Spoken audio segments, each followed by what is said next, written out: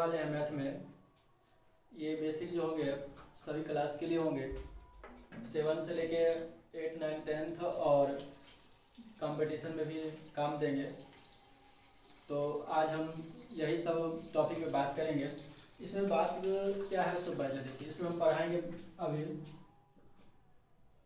माध। इसमें अभी हम पढ़ाएँगे माध।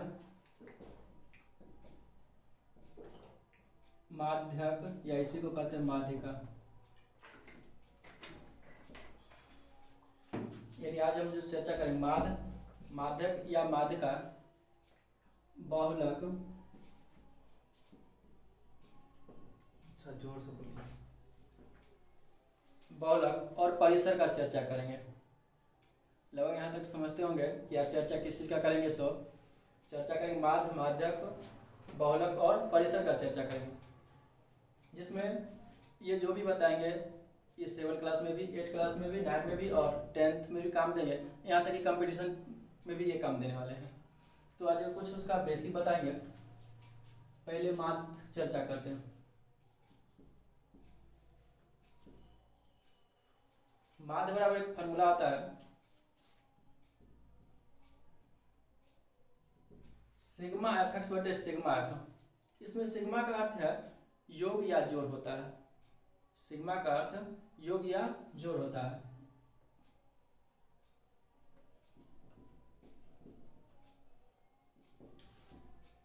यानी इसको हम सिग्मा पढ़ेंगे, ठीक है?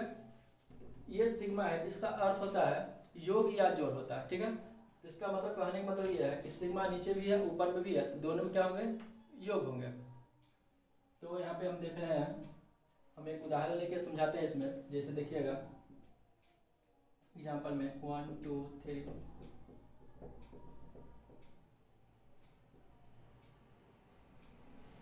मान लेंगे एक उदाहरण ले लिए। कोई दिक्कत नहीं है? अब इसमें सिग्मा का अर्थ क्या है? योग है।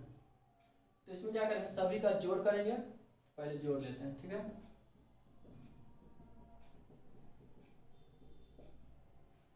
तो योग हो गया। अब ऊपर में क्या है? सिग्मा सिग्मा एफ़ मतलब कि इसमें कितने बार कौन संख्या है, ठीक है ना? तो गिनते हैं। एक, दो, तीन, चार, पाँच छः और सात। यानी बट्टा कितना देंगे? सात। जितना बार आया संख्या, उसको नीचे में लिखेंगे और टोटल जो संख्या है सबका योग कर लेंगे। यहाँ तक कोई दिक्कत नहीं होगा। अब इसको जोड़िए। ये हो गया one two three three three हो गया सिक्स और सिक्स और फोर हो गया टेन और टेन और फाइव हो गया फिफ्टीन और नाइन हो गया ट्वेंटी फोर वन हो गया कितना? ट्वेंटी सिक्स बाय सेवन यानी इसको फिर से जोड़ के देखिए, हो सकता है गलत हो जाए, फिर देख लेते जोड़ के। एक, दो, तीन तीन तीन, छः, चार, दस दस, पाँच, पंद्रह, और पंद्रह, और छ हो गया, छब्बीस, बटा सात। इसमें भाग देते हैं।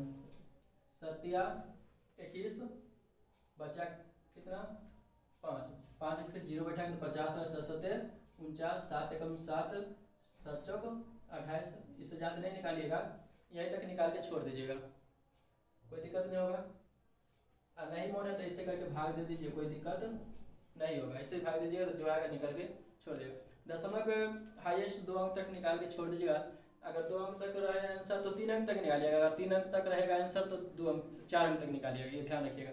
ये दशमलव के बाद अगर एक अंक तक है तो आपको दो अंक तक निकाल के तब लिखना पड़ेगा एक अंक के लिए। तो यहाँ तक लगभग समझते होइएगा माध्य के बारे में।